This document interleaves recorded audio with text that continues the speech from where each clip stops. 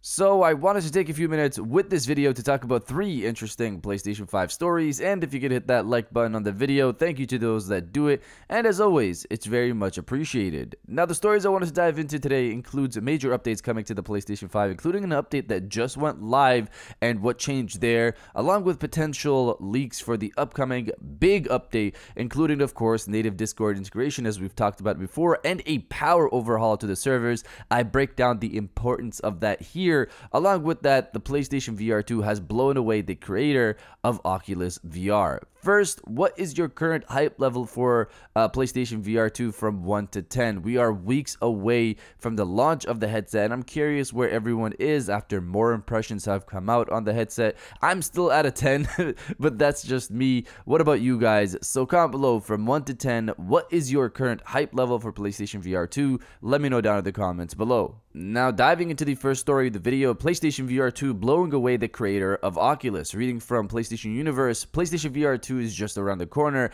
and a lot of folk have managed to go hands on with Sony's new headset recently. One of those was Palmer Luckey, uh, Luckey, founder of Oculus, who revealed that he was blown away after trying PlayStation VR 2. Here's what Luckey had to say on Twitter, which caught the attention of Sony's indie boss, Shuhei Yoshida. I was blown away when I used PlayStation VR 2 recently. The first PlayStation VR was arguably the best, the biggest success of the generation. This version will do even better. So, for me, this is of course exciting to see such an integral person in VR history comment so highly about PlayStation VR 2.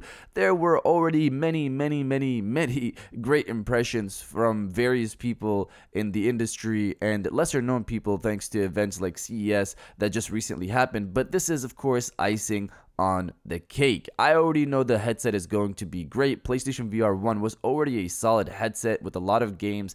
Uh, the only problem was the move and the tracking situation on the headset, and of course the resolution, but that's one thing of the time. But move and tracking was a, a big issue there. Those have been resolved for PlayStation VR 2, along with resolution, power, haptics, triggers, uh, etc. PlayStation VR 2 is just weeks away and I'm excited. Now, diving into the second story of the video, new PS5 update now live. So, out of nowhere, we got an update for the PlayStation 5 to prepare for an upcoming major accessory release. Reading from Video Game Chronicle, Sony has released a new firmware update for the PlayStation 5. This version 22.02-0650, so update 6.50 really, uh, adds support for the upcoming DualSense Edge wireless controller. As is often the case with system updates, it also improves system performance, though it is isn't made clear what this entails, which is the usual case.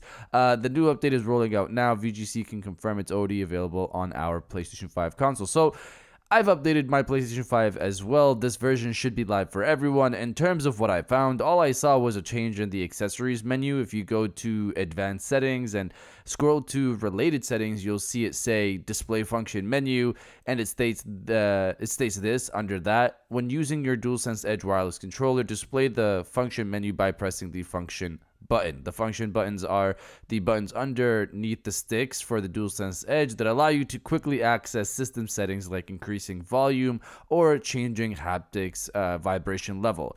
Beyond this, there are also obviously a lot of other menus on the PlayStation 5 that I assume will show up when you have a DualSense Edge connected, as we've seen in first impression videos not too long ago.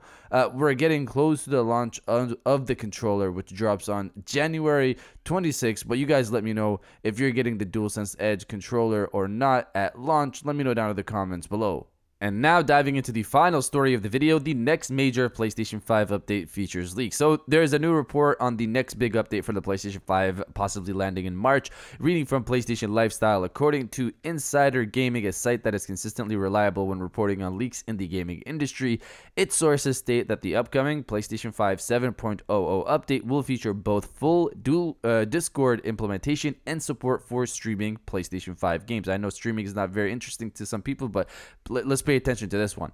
The site sources state that a public beta for the 7.0 system update will begin in the coming days, with it ending on January 30th. Apparently, the Discord functionality will not be active in the beta. The PS5 7.00 uh, firmware update is expected to launch on March 8th. I'll also add this from Insider Gaming themselves. In addition to the Discord integration, sources have revealed that PlayStation 5 games will also be streamable on the PlayStation 5 via cloud streaming to save that all important Drive Space. It was said that this feature will be included in the PlayStation Plus Premium tier. Obviously, uh, the feature under the name Project uh, Cronus has been in development and testing for a number of months, sources revealed. So, a couple of things to break down here. One, the beta releasing in the coming days and ending on January 30th is very abnormal and doesn't follow any trends from PlayStation for I don't know how long. This would put the public beta testing at possibly less than two weeks.